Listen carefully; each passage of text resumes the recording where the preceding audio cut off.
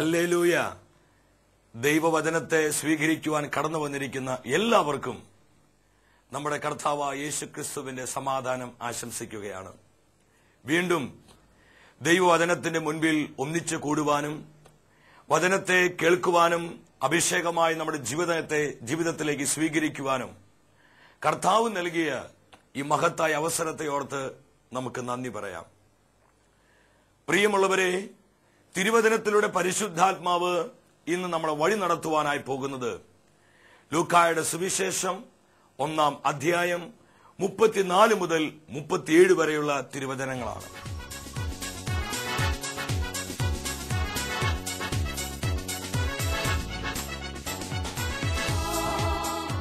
ഈ വചനം നമ്മുടെ ജീവിതത്തിൽ അഭിഷേകമായി മാറുവാൻ നമ്മുടെ കുടുംബത്തിൽ അനുഗ്രഹത്തിന്റെ നീർച്ചാലായി കവിഞ്ഞൊഴുകപ്പെടുവാൻ വളരെ ഒരുക്കമുള്ള ഹൃദയത്തോടെ പ്രാർത്ഥിച്ചുകൊണ്ട് ഏറെ താല്പര്യത്തോടെ കർത്താവിന്റെ സാന്നിധ്യത്തിന് മുൻപിൽ നമുക്കായിരിക്കാം. ദൈവത്തിന്റെ വിശുദ്ധ വചനം നമ്മുടെ ജീവിതങ്ങളോട് വിളിച്ചു പറയുകയാണ്.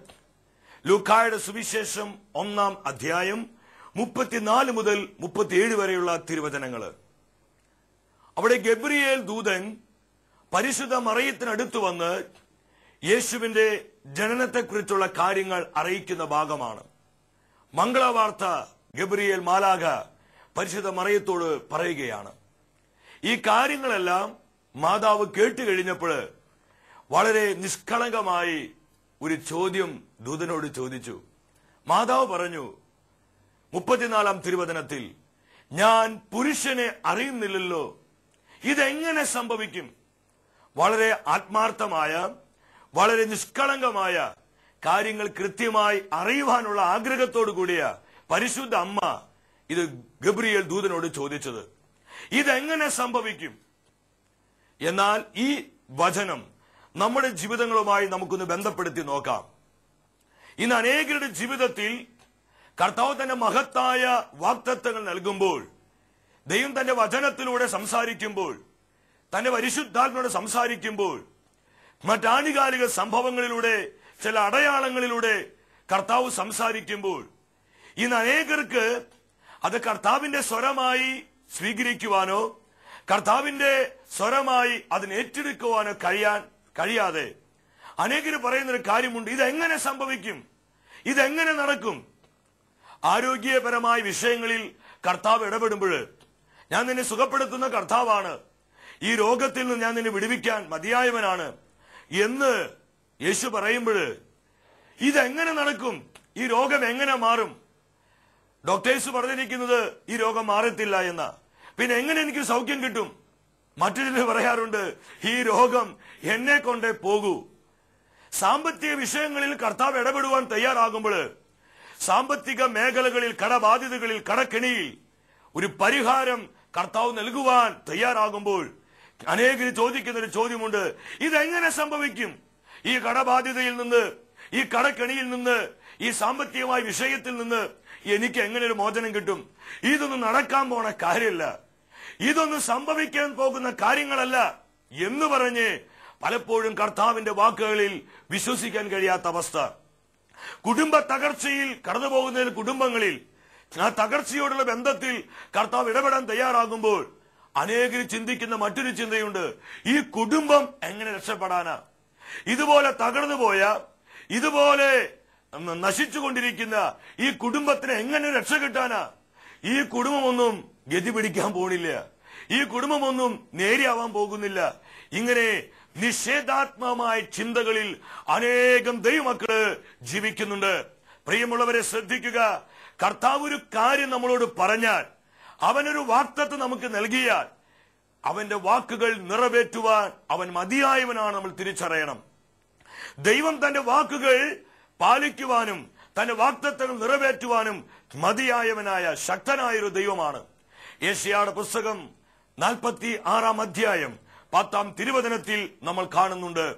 അവിടെ വചനം പറയുക എന്റെ ഉദ്ദേശങ്ങൾ ഞാൻ നിറവേറ്റുക തന്നെ ചെയ്യും.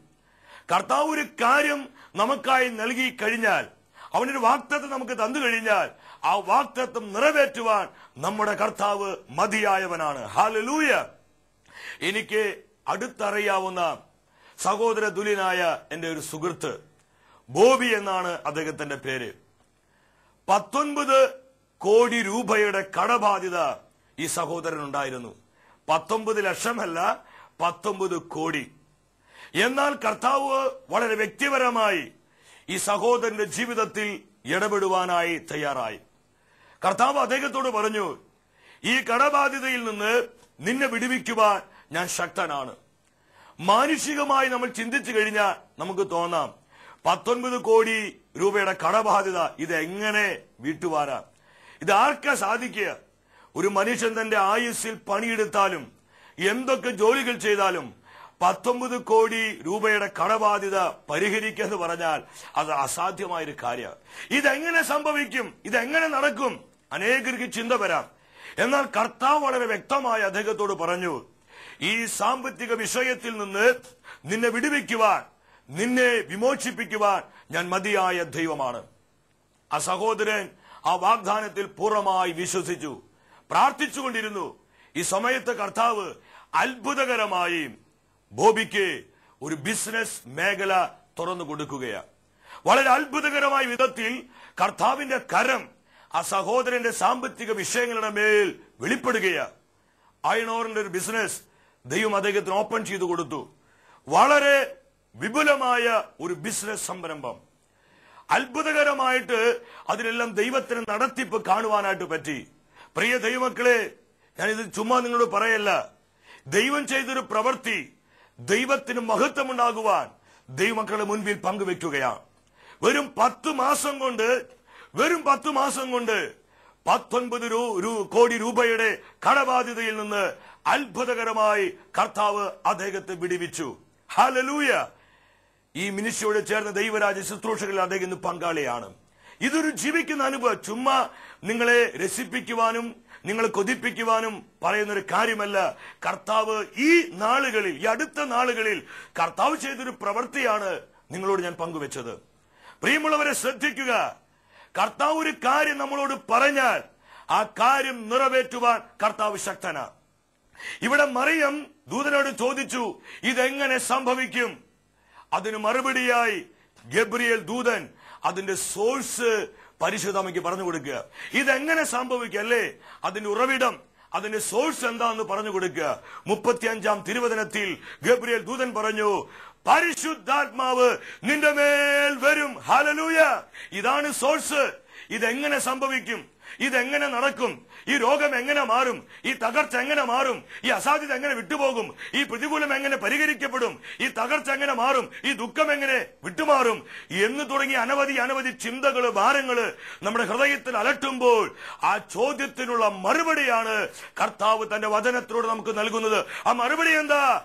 പരിശുദ്ധാത്മാ വരുമ്പോൾ കാര്യങ്ങളിൽ മാറ്റങ്ങൾ ഉണ്ടാകും പരിശുദ്ധാത്മ വരുമ്പോൾ അത്ഭുതങ്ങൾ സംഭവിക്കും. പരിശുദ്ധാത്മ പ്രവർത്തിക്കാൻ തുടങ്ങുമ്പോൾ പ്രതികൂലങ്ങൾ അനുകൂലങ്ങളാകും. തകർച്ചകൾ ഉയർച്ചകളാകും. പരാജയങ്ങൾ വിജയങ്ങളാകും. അസാധ്യതകൾ സാധ്യതകളാകും. നിങ്ങൾ എത്ര പേര് വിശ്വസിക്കുന്നു? അവർ സ്വരമുയർത്തി കർത്താവിന് ഒരു ഹലേലിയ പറഞ്ഞാട്ടെ ഹാലലൂയ ഇവിടെ മറിയത്തിന്റെ ചോദ്യത്തിന് മറുപടിയായി ദൂതൻ പറഞ്ഞു അതിന്റെ സോഴ്സ് ഇതാണ്. മറിയം അതിന് ഉറവിടം ഇതാണ്.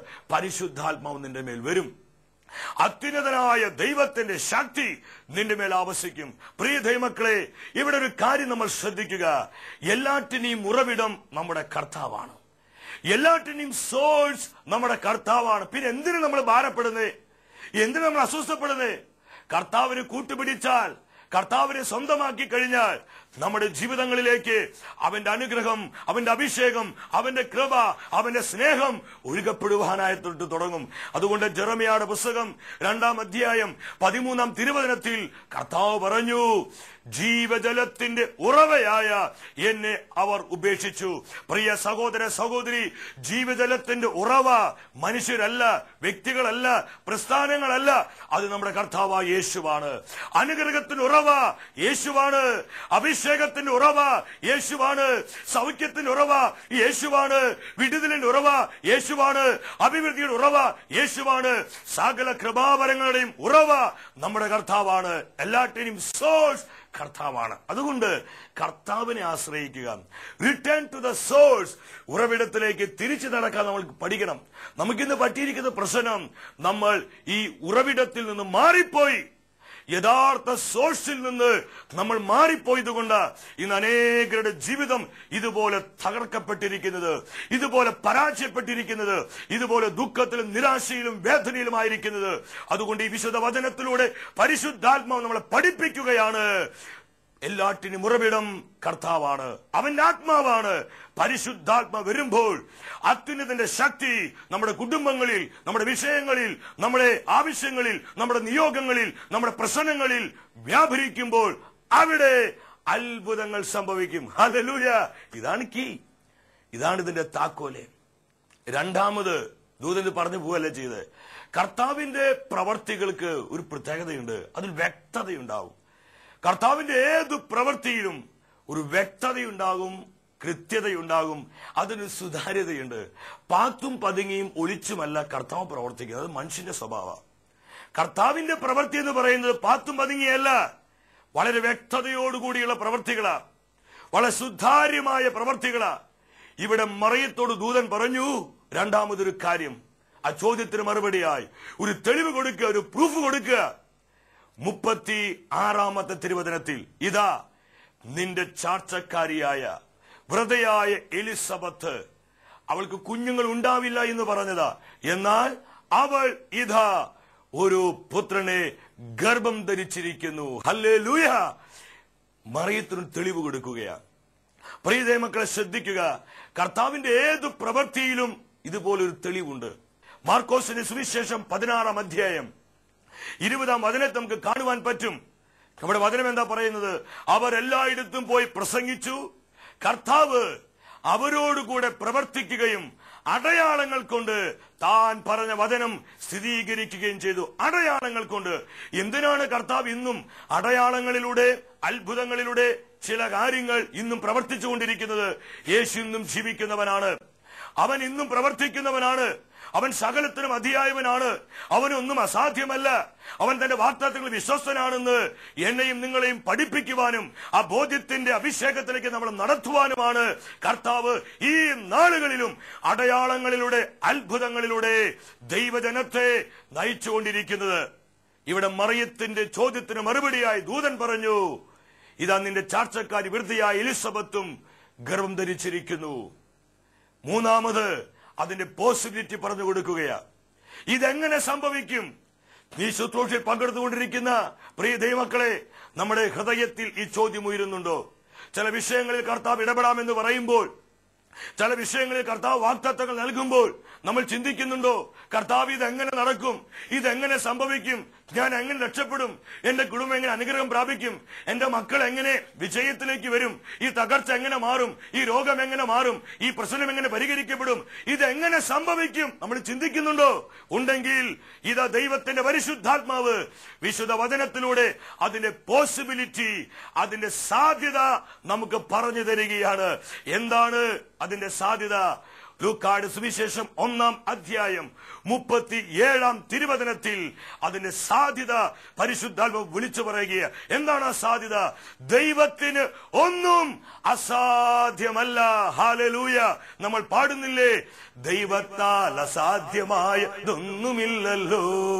ഏകോവയ്ക്ക് കഴിയാത്ത കാര്യമില്ലല്ലോ. യേശുവിന്റെ നാമത്തിൽ സൗഖ്യമുണ്ടല്ലോ. യേശുവിന്റെ രക്തത്താൽ ജയമുണ്ടല്ലോ. ദൂതൻ മറുപടി പറഞ്ഞു ദൈവത്തിനൊന്നും അസാധ്യമല്ല. അവൻ സകലത്തിനും അധിയായവനാ അവനെല്ലാം സാധ്യമാണ്. ജെറമിയ പ്രവാചകന്റെ പുസ്തകം മുപ്പത്തിരണ്ടാം തിരുവചനത്തിൽ ഇതേ ചോദ്യം കർത്താവ് പറയുന്നുണ്ട് ഇരുപത്തി ആറും ഇരുപത്തിയേഴും തിരുവചനങ്ങളിൽ. അവിടെ ദൈവം പ്രവാചകനായ ജെറോമിയോട് ഒരു ചോദ്യം ചോദിക്കുക എന്താ ചോദിക്കണമെന്നറിയോ? കർത്താവ് ജെറോമിയോട് അരുളി ചെയ്തു. ഞാൻ സകല മർത്യരുടെയും ദൈവമായ കർത്താവാണ്. എനിക്ക് അസാധ്യമായി എന്തെങ്കിലും ഉണ്ടോ കർത്താവ് ചോദിക്കുക എനിക്ക് അസാധ്യമായി എന്തെങ്കിലും ഉണ്ടോ എന്താ നമുക്ക് നമുക്കിതിന് മറുപടി പറയാനുള്ളത്? എന്റെ പൊന്നു സഹോദര നിന്റെ ജീവിതത്തിന്റെ ഏത് വിഷയത്തിലും കർത്താവിന് പ്രവർത്തിക്കാൻ പറ്റും. കാരണം അവൻ ഓൾ മൈറ്റിയ സഹോദരി നിന്റെ കണ്ണുനീര് തുടയ്ക്കാൻ നിന്റെ വേദനയിൽ പ്രവർത്തിക്കാൻ നീ നേരിടുന്ന ദുഃഖത്തിലും കഷ്ടതയിലും കർത്താവിന് അത്ഭുതങ്ങൾ ചെയ്യാൻ മതിയായവരാ കാരണം അവൻ സർവശക്തനാണ്. അവൻ അസാധ്യങ്ങളെ സാധ്യമാക്കുന്നവനാ. ഒരിക്കൽ എന്റെ കർത്താവ് ഏൽപ്പിച്ച ശുശ്രൂഷയോടുള്ള ബന്ധത്തിൽ ഒരു വലിയൊരു അസ്വസ്ഥത എന്റെ ജീവിതത്തിലേക്ക് കടന്നു വന്നു. നാളുകൾ ദിവസങ്ങൾ പ്രാർത്ഥിച്ചിട്ടും ഈ അസ്വസ്ഥതയിൽ നിന്ന് ഒരു വിമോചനം കിട്ടുന്നില്ല. ഞാൻ എന്റെ ആത്മപിതാക്കന്മാരുമായി ഇത് പങ്കുവെച്ചു. പങ്കുവെച്ച് അല്പം ഒരു സ്വസ്ഥത കിട്ടി. എങ്കിലും പൂർണമായ ഒരു വിടുതൽ കിട്ടുന്നില്ല. അങ്ങനെ ആഴ്ചകൾ പ്രാർത്ഥിച്ചു. പക്ഷേ ഒരു സമ്പൂർണമായ വിമോചനത്തിലേക്ക് കടന്നു വരാൻ പറ്റുന്നില്ല. അങ്ങനെ ഒരു ദിവസം എന്റെ ഒരു സുഹൃത്തിന് വീട്ടിലേക്ക് ഞാൻ കടന്നു ചെല്ലുകയാണ്. അത് കർത്താവിന്റെ നടത്തിപ്പാണെന്ന് ഞാൻ ഇന്ന് വിശ്വസിക്കുക അവിടെ കടന്നു ചെന്നു. അവന് രണ്ട് മക്കളെ ദൈവം കൊടുത്തിട്ടുണ്ട്. ഒന്ന് ആറ് വയസ്സുള്ള ഒരു ആൺകുഞ്ഞും രണ്ട് മൂന്നര വയസ്സുള്ള ഒരു പെൺകുഞ്ഞും. രണ്ട് അനുഗ്രഹിക്കപ്പെട്ട കുഞ്ഞുങ്ങൾ. ഞാൻ ആ വീട്ടിലേക്ക് കയറി ചെന്ന നിമിഷത്തിൽ ഈ രണ്ട് കുഞ്ഞുങ്ങൾ പറഞ്ഞു അങ്കിൾ അങ്കിൽ ഞങ്ങൾ ഇന്ന് ഇരുപത്തഞ്ചെണ്ണം കളക്ട് ചെയ്തിട്ടുണ്ട്. ഇരുപത്തഞ്ചെണ്ണം കളക്ട് ചെയ്തിട്ടുണ്ട്. ഞാൻ ചിന്തിച്ചു ഈ സാധാരണ ഈ കുഞ്ഞുങ്ങൾക്കൊക്കെ ഈ സ്റ്റാമ്പ് കളക്ഷനും ഇങ്ങനെ പലതും ഉണ്ട്. ഞാൻ ചിന്തിച്ചു മക്കളെ നിങ്ങൾ എന്താ കളക്ട് ചെയ്തിരിക്കണേ? അവർ ഓടി വന്നിട്ട് പറഞ്ഞു അങ്കിളെ ഞങ്ങൾ ഇന്ന് ഇരുപത്തഞ്ച് വചനം കളക്ട് ചെയ്തിട്ടുണ്ട്. ഇത് പറഞ്ഞ് ഈ ആറു വയസ്സുള്ള ഈ ആൺകുഞ്ഞ് അവൻ അഭിഷേകത്തോടെ കർത്താവിന്റെ വചനം എന്ന് പറയാൻ തുടങ്ങി. ഉൽപ്പത്തിയുടെ നിന്ന് ജോഷുവായിൽ നിന്ന് സുവിശേഷങ്ങളിൽ നിന്ന് ലേഖനങ്ങളിൽ നിന്ന് പ്രവാചക പുസ്തകങ്ങളിൽ നിന്നൊക്കെ പല വചനങ്ങളിൽ നിന്നും ശക്തിയോടെ അവൻ പറയാൻ തുടങ്ങി. അവനെ കണ്ടപ്പോൾ എനിക്ക് വലിയ ആനന്ദം തോന്നി. വലിയ സന്തോഷം തോന്നി. ഈ സമയത്ത് മൂന്നര വയസ്സുള്ള ഈ മിടുക്കിയായ പെൺകുട്ടി നല്ല സ്മാർട്ട് അവൾ. ശരിക്കും ഒത്തിരി ഇഷ്ടമുള്ള ഒരു പെൺകുഞ്ഞ്. അവൾ ഓടി വന്നിട്ട് എന്നോട് പറഞ്ഞു അങ്കിൽ അങ്കിൽ ദൈവത്തിന് ഒന്നും അസാധ്യമല്ല. ഇത് പറഞ്ഞിട്ട് അവൾ ഓടിപ്പോയി. ഒരു രണ്ട് മൂന്ന് മിനിറ്റ് കഴിഞ്ഞപ്പോൾ വീണ്ടും ഈ പെൺകുട്ടി ഓടി വന്നിട്ട് അവൾ ആ വാതിലിന്റെ മറവിൽ നിന്നുകൊണ്ട് എന്നോട് പറഞ്ഞു അങ്കിൽ അങ്കിൽ ദൈവത്തിനൊന്നും അസാധ്യമല്ല. ഇത് പറഞ്ഞ് വീണ്ടും ഓടിപ്പോവുക. ഒരു രണ്ട് മൂന്ന് മിനിറ്റ് കഴിഞ്ഞപ്പോൾ വീണ്ടും അവൾ ഓടി വന്നിട്ട് എന്നോട് പറഞ്ഞു അങ്കിൾ അങ്കിൾ ദൈവത്തിന് ഒന്നും അസാധ്യമല്ല. നാലഞ്ച് പ്രാവശ്യം ഈ പെൺകുട്ടി ഇത് റിപ്പീറ്റ് ചെയ്തപ്പോൾ ഈ വചനം ആവർത്തിച്ച് ആവർത്തിച്ച് പറഞ്ഞപ്പോൾ എന്റെ ഉള്ളിൽ വസിക്കുന്ന പരിശുദ്ധാത്മാവ് എന്നോട് വളരെ ശക്തമായ ഭാഷയിൽ പറഞ്ഞു സന്തോഷേ ഇത് നിനക്കുള്ള മെസ്സേജ് ആണ് ഇത് നിനക്കുള്ള ദൈവത്തിന്റെ ആലോചനയാണ്. എനിക്ക് മനസ്സിലായി. ഈ ദൂത് കർത്താവ് എന്നോടാണ് വ്യക്തിപരമായി പറയുന്നത്. ദൈവത്തിന് ഒന്നും അസാധ്യമല്ല. ആ സമയത്ത് ദൈവശക്തി വ്യാപരിച്ചു. ദിവസങ്ങളും ആഴ്ചകളുമായി ഒരു പ്രത്യേകമായ വിഷയത്തോട് ഭാരപ്പെട്ടിരുന്ന ആ ഭാരത്തിൽ നിന്ന് അസ്വസ്ഥതയിൽ നിന്ന് ദൈവത്തിന്റെ പരിശുദ്ധാത്മാവ് പൂർണമായും എന്നെ വിടിവിച്ചു. പ്രിയ ദൈവമക്കളെ നമ്മൾ മനസ്സിലാക്കുക. ഇതെങ്ങനെ നടക്കും? ഇതെങ്ങനെ സംഭവിക്കും? അതിന്റെ പോസിബിലിറ്റിയാണ് കർത്താവ് പറഞ്ഞു തന്നത്. ദൈവത്തിനൊന്നും അസാധ്യമല്ല. നമ്മുടെ നിസ്സാര വിഷയങ്ങളിൽ വരെ കർത്താവ് ഇടപെടും. കർത്താവ് തന്റെ വചനത്തിലൂടെ നിന്ന് നമ്മളെ പഠിപ്പിച്ച ഈ ആത്മീയ സത്യങ്ങളെല്ലാം നമ്മുടെ ജീവിതത്തിൽ അനുഗ്രഹമായി അഭിഷേകമായി മാറുവാൻ ഏരാഗ്രഹത്തോടെ പ്രാർത്ഥിക്കാം. ദൈവവചനത്തിലൂടെ വെളിപ്പെട്ട ഈ അഭിഷേകത്തെ നമ്മുടെ കുടുംബങ്ങളിലേക്ക് സ്വീകരിക്കാം നമ്മുടെ ജീവിതങ്ങളിലേക്ക് സ്വീകരിക്കാം നമ്മുടെ തലമുറകളിലേക്ക് സ്വീകരിക്കാം. തുറന്നു വരുന്ന ആരാധന ശുശ്രൂഷയിലൂടെ കർത്താവ് വെളിപ്പെടുത്താൻ പോകുന്ന അഭിഷേകത്തെ ഏറ്റുവാങ്ങി കർത്താവിന്റെ വാക്കുകളിൽ വിശ്വസിക്കുവാനും എന്റെ കർത്താവ് സകലത്തിനും അതിയായവനാണെന്ന് ഉറച്ച് വിശ്വസിച്ച് അവിശ്വാസത്തെ വിശ്വാസത്തെ എവിടെയും ഉയർത്തിപ്പിടിക്കുവാനും നമുക്ക് ആഗ്രഹിക്കാം. അതിനുവേണ്ടി പ്രാർത്ഥിക്കാം. കർത്താവ് നമ്മളെല്ലാവരെയും സമൃദ്ധമായി അനുഗ്രഹിക്കട്ടെ.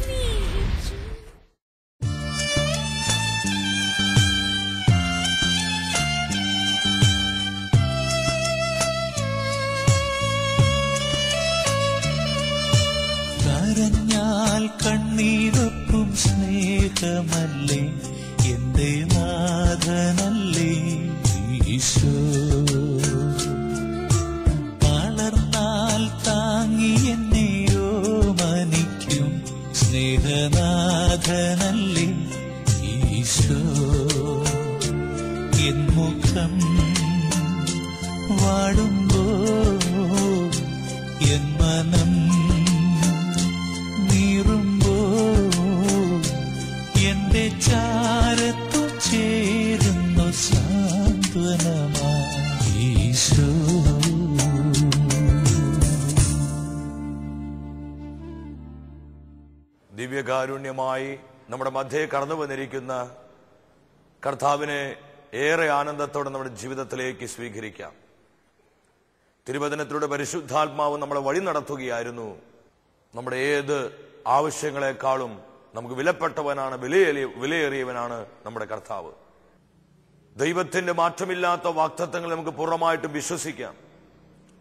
ഈ ആരാധനയുടെ അത്ഭുത നിമിഷങ്ങളിൽ കർത്താവിന്റെ സ്നേഹത്തിന്റെ സാന്നിധ്യം അവന്റെ സൗഖ്യത്തിന്റെ സാന്നിധ്യം കൃപയുടെ സാന്നിധ്യം അത്ഭുതത്തിന്റെ സാന്നിധ്യം നമ്മുടെ ജീവിതത്തിലെ സമസ്ത വിഷയങ്ങളിലേക്കും കർത്താവ് പകർന്നുകൊണ്ടിരിക്കുകയാ.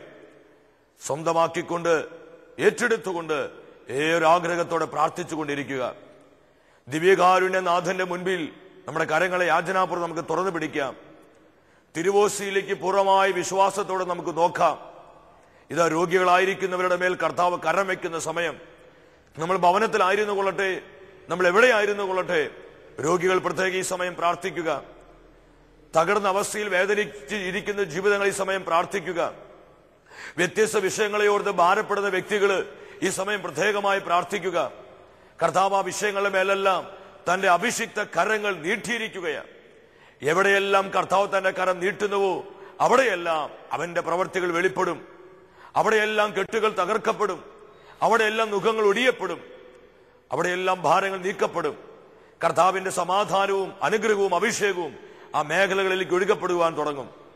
ഗബ്രിയേൽ ദൂതൻ മറിയത്തോട് പറഞ്ഞു പരിശുദ്ധാത്മ നിന്റെ മേൽ വരും. അത്യുന്നതനായ ദൈവത്തിന്റെ ശക്തി നിന്റെ മേൽ ആവസിക്കും നമ്മുടെ വിഷയങ്ങളുടെ മേൽ നമ്മുടെ കുടുംബത്തിന്റെ മേൽ നമ്മുടെ ആവശ്യങ്ങളുടെ മേൽ ശുശ്രൂഷകളുടെ മേൽ തലമുറയുടെ മേൽ നമ്മുടെ ജീവിതത്തിന് എല്ലാ മണ്ഡലങ്ങളുടെ മേൽ പരിശുദ്ധാത്മാവ് ശക്തിയോടെ വ്യാപരിക്കാൻ തുടങ്ങുമ്പോൾ അവിടെയെല്ലാം വലിയ അത്ഭുതങ്ങൾ സംഭവിക്കും. ഇതാ നമ്മുടെ കുടുംബത്തിലേക്ക് ആത്മാവ് ഇറങ്ങി വരുന്ന സമയമാണ്.